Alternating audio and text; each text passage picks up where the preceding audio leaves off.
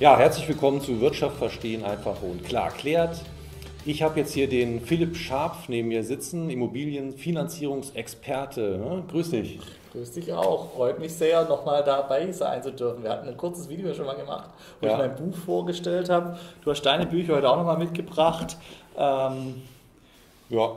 Und ähm, freue mich jetzt, äh, heute nochmal ein längeres Video machen zu können. Genau, wir haben uns jetzt hier wieder getroffen auf dem Immobilien äh, Immopreneur-Kongress. Ne? Der ist ja normalerweise in Darmstadt, jetzt sind wir in Bad Homburg. Und ja, wir hatten ja schon mal ein Interview, das war so ein bisschen zwischen Tür und Angel. Ne? Jetzt haben wir noch mal ein bisschen mehr Zeit. Wir sprechen jetzt mal über Immobilienfinanzierungen, ne? weil da bist du ja auch der Experte. Und ähm, ja, stell dich doch kurz mal vor, du bist ja Immobilienfinanzierungsvermittler auch. Ne?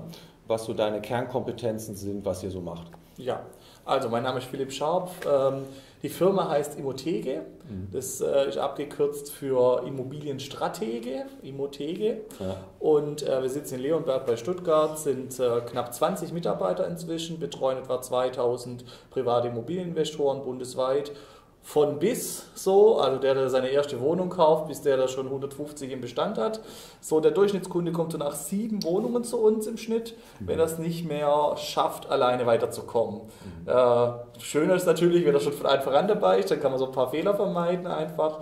Ähm, aber so meistens sind sie so verzweifelt äh, und es trifft meistens nach der siebten Wohnung zu, dass sie dann irgendwie zu uns kommen ja. und wir machen eigentlich fast nur Immobilieninvestoren oder für andere schwierige Fälle, also für Profi-Finanzierungsvermittler machen wir denen ihre Fälle, die sie selber nicht hinbekommen, weil wir aus den schwierigen Fällen der Immobilieninvestoren mhm. gelernt haben. Einfache Fälle natürlich auch, sind wir mal dankbar. Mhm.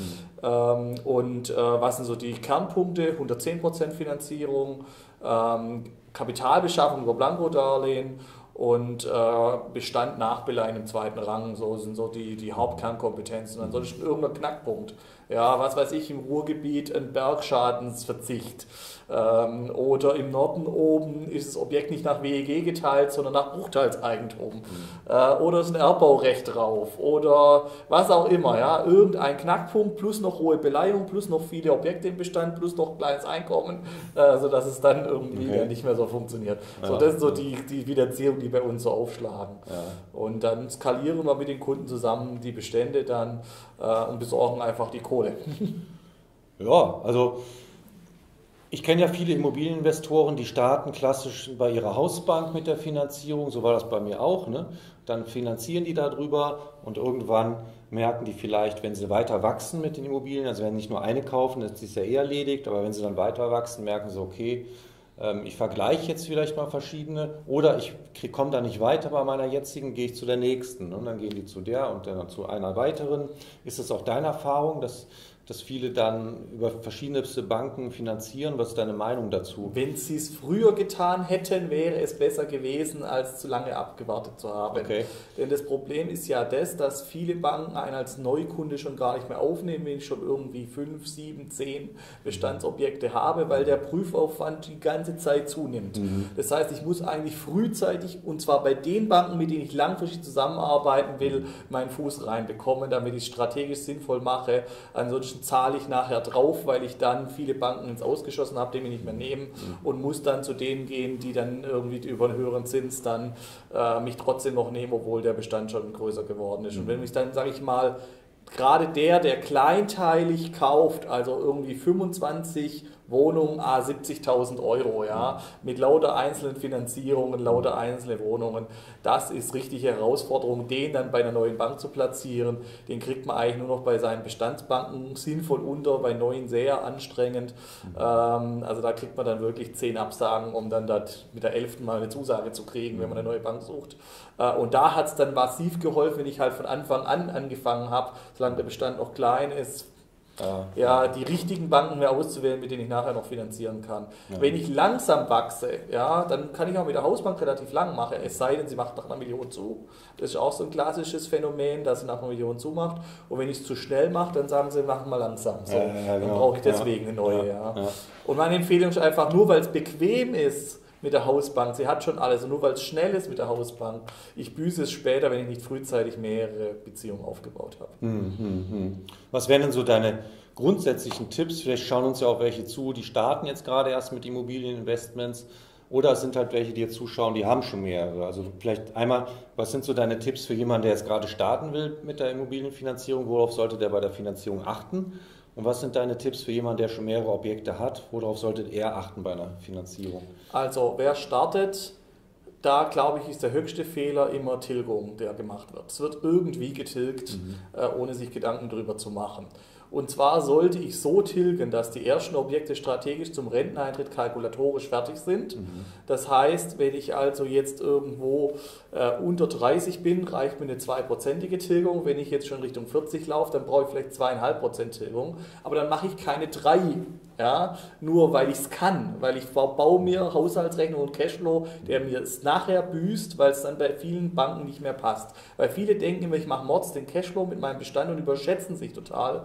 Ähm, und äh, die Banken ziehen massiv Abschläge runter für Bewirtschaftung, im Schnitt 25 Prozent und dann nehmen sie teilweise noch eine Stressannuität an. Das heißt also auch nur lauter kurze Zinsbindung kann auch ein Problem sein, es sei denn, ich habe hohe Renditen. Das muss ich also irgendwo ausbalancieren. Wir arbeiten gern mit kurzen Zinsbindungen. Wir haben kaum jemanden, der 15 Jahre oder 20 Jahre Zinsbindung nimmt. Ja, ja. Fast immer nur maximal 10. Ähm, aber das kann ich mir nur leisten, wenn die Renditen hoch genug sind. Oder ich genug verdiene. Ja? Mhm. Sonst komme ich damit in ein Problem, wenn ich nur 10-jährige Zinsbindung abschließe. Also auch da muss ich darauf achten, auf die Zinsbindung, mhm. die richtig strategisch auszuwählen und die Tilgung vor allem so auszuwählen, dass die ersten Objekte zum Renteneintritt fertig sind. Kalkulatorisch, in der Anschlussfinanzierung ändert sich wieder alles. Das heißt aber, ich kann die Objekte, die später folgen, in den Renteneintritt reinlaufen lassen mit einer 2% Tilgung. Mhm. Und je älter ich werde, je schwieriger wird es, dieses Szenario zum Renteneintritt hinzukriegen. Das unterschätzen auch viele und dann sind sie äh, nachher älter und dann kriegen sie eine 4,5% Tilgung reingedrückt und schaffen nie wieder positiven Cashflow in dem Objekt zu erreichen. Und ähm, wenn ich von Anfang an es richtig mache, sind die, die Raten weg zum Renteneintritt, die Mieteinnahmen da, da wird die Lücke zum, zum Renteneintritt weg und ich kann dann auch wieder eine kleine Tilgung fahren. Aber könnten die nicht einfach so nach 10 oder 15 Jahren dann das Objekt auch verkaufen und sagen? Die könnten auch umschulden nach 10 ja. Jahren mit einer anderen Tilgung. Aber was ist in der Zeit von Jahr 3, nachdem sie es festgestellt haben, mhm. äh, sie werden jetzt zu hoher Tilgung gezwungen, bis Jahr 7, wo sie frühestens ein Vorwortdarlehen ziehen können, um die Situation zu ändern. In der Zeit äh, sind sie handlungsunfähig gemacht, so ein bisschen. Oder müssen über Bausparlösungen gehen oder was auch immer, müssen irgendwelche Lösungen finden, die nachher halt Geld kosten, weil sie vorher nicht strategisch das angegangen sind, mhm. sondern irgendwie nach Bauch oder ja, was auch immer. Ja. ja. Also dass zu hoch getilgt wird, haben wir fast immer okay. als Problem äh, am Anfang, weil die Leute denken, ja, ich will ja schnell abbezahlen. Das ist auch ein totaler Fehler. Ähm, mhm. Und wenn ich, wenn ich, dann denken sie auch noch, ja, dann habe ich ja was zum Nachbeleihen. Aber es ist viel, viel schwieriger nachzubeleihen, als wenn ich das Geld vorne äh, mir übrig gelassen habe. Also auch Sondertilgungen machen überhaupt keinen Sinn. Ja. Äh, wenn ich eine Sondertilgung mache, dann äh, habe ich es doppelt so hoch wo ich später bezahle, äh, weil ich später in einer neuen Finanzierung einen höheren Beleihungsauslauf brauche, mhm. 100 Prozent, 110 Prozent statt 90 oder 80 zum Beispiel, ja, weil ich mein Eigenkapital in bestehenden Finanzierungen verballert habe und dann zahle ich einen Zinsaufschlag auf die komplette neue Finanzierung ja. Äh, und habe bei der, bei, der, bei der Sondertilgung an der alten Finanzierung, die vielleicht ein halbes Prozent teurer war, ja, da habe ich dann da hinten raus ein paar Euro gespart. Ja. Im Schnitt habe ich mit der Sondertilgung doppelt so viel Zins, die ich verursacht habe, als hätte ich das Geld zurückgehalten Krass, ja. und in der neuen Finanzierung von Anfang an reingesteckt. Das würde aber bedeuten natürlich, dass ich dann kein Eigenkapital mehr habe bei der Anschlussfinanzierung, genau. weil ich es nicht sondern für die neue Finanzierung, genau, wenn ich jetzt trotzdem noch genug hätte, dann, dann wäre es was anderes. Ja. Ja. Aber okay. Wobei dann muss ich mir auch überlegen, also habe ich denn wirklich genug? Weil also ich sage strategisch sollte man eigentlich 80% finanzieren. Mhm. 80% mhm. hat das beste Preis-Leistungsverhältnis aus noch hoher Beleihung und noch äh, niedrigen Zins. Mhm. 60% ist natürlich der Zins noch niedriger, klar. Mhm. Äh, aber wenn ich, aber das klassische Beispiel ist eigentlich immer, mir fehlt das Eigenkapital, ich finanziere 100 oder 110 im neuen Objekt und ich kann mir keine 80% leisten, aber ich habe es vorher verballert über eine Sondertilgung. Ja, so. ja. Und das ist schade. Ja, okay. Und dann noch ein Profi-Tipp vielleicht für jemanden, der schon mehrere Immobilien hat, äh, was die Finanzierungsseite betrifft. Ja, da kommt genau die Nachbeleihung ins Spiel, äh, wo viele unter, unterschätzen, wie viel sie denn im zweiten Rang äh, noch rausholen können aus ihren Objekten. Mhm. Am allerbesten funktioniert es, wenn die Objekte irgendwo drei Jahre vor Ablauf der Zinsbindung sind, ähm, sodass ich da ein Vorwortdarlehen plus eine Kapitalbeschaffung machen kann. Das heißt, ich gehe her, ähm, das Objekt habe ich mal für 100.000 gekauft, ähm, das war schon von Anfang an 20% unter Wert, äh, dann habe ich noch ein bisschen aufgewertet und ein bisschen getilgt und äh, mittlerweile ist es 200.000 wert nach, nach sieben Jahren ja. Mhm. und meine, meine Schulden stehen irgendwo bei, bei 90.000 dann vielleicht und jetzt kann ich hergehen und sagen, hier von den 200.000 finanziere ich 80%, sprich 160.000 und die Differenz zu 90.000, die hole ich mir als Kapitalbeschaffung und das ist dann wieder das Eigenkapital für den neuen Deal oder das Eigenkapital plus 20 Prozent für den neuen Deal, sodass der neue Deal wieder zu 80 finanziert wird. Und dann habe ich hier eine 80 Prozent Kondition in der Anschlussfinanzierung. Die äh, Kapitalbeschaffung bekomme ich sofort. Dadurch, dass ich ein Vorwortdarlehen mache, hole ich mir die Bank, die neue Bank, in den, äh, die sonst der erste Mal die Kapitalbeschaffung im zweiten Rang hat, kommt automatisch in den ersten Rang über das Vorwortdarlehen ähm, und gibt mir dann auch den zweiten Rang. Es geht auch sonst im zweiten Rang, aber unter schweren Bedingungen. Ähm, mit Vorwortdarlehen leichter und bei mehr Banken. Und ich wechsle immer die Bank, weil die alte Bank, die tut sich immer schwer mit der hohen neuen Objekteinwertung. Mhm. Deswegen immer in der Anschlussfinanzierung die Bank wechseln, grundsätzlich. Übrigens ist das auch die beste Variante, um neue Banken zu akquirieren, ja. weil in der Anschlussfinanzierung habe ich keinen Zeitdruck. Ja, ja. Wenn ich ein Objekt neu ankaufe, eine neue Bank zu akquirieren, habe ich niemand Zeitdruck. Frühzeitig in der Anschlussfinanzierung, da habe ich niedrige Beleihung mhm. und ich habe Zeit. Mhm. Deswegen ist das der beste Weg für Profis, um neue Bankkontakte zu akquirieren. Oder auch mal mit einem Vermittler zu arbeiten, wenn man es bisher nicht getan hat. Ja. Ähm, denn äh, die 80% Finanzierung ist viel, viel mehr Wettbewerb im Markt. 100% mhm. Finanzierung macht ja schon gar nicht jede Bank. Mhm. Ähm, da, also deswegen die, die, äh, die mit einer 80% Finanzierung, mit einer Anschlussfinanzierung reinzugehen, super, ja. Die, der Fehler von den Profis wäre, zu frühzeitig ein Vorwort zu machen ohne Kapitalbeschaffung, ja. äh, eine Anschlussfinanzierung zu machen, einfach so, ohne Sinn und Verstand, mit irgendeiner Tilgung, die, die, die ohne, ohne Strategie ist, äh, einfach nur aus Bequemlichkeit irgendein Angebot zu unterschreiben. Das wäre der Fehler. Dann. Ja, also man merkt, du hast da wirklich fundiertes Wissen. Ne? Du hast ja auch ein riesen dickes Buch darüber geschrieben. Ne? Das können wir auch gerne hier drunter nochmal verlinken. Ist ja. auch sehr schön weil da total viel Content drin ist. Ne? Das ist der Wahnsinn. Und das, man sieht wirklich, viele denken, Immobilienfinanzierung, ne, da gibt es eben nur das eine, oder es ist, aber es gibt da so viele Möglichkeiten und Optimierungsmöglichkeiten, auch die du ja auch aufzeigst. Ne? Und das ist auch eine wichtige Sache. Ne? Letzten Endes geht es ja um die Rendite. Ne?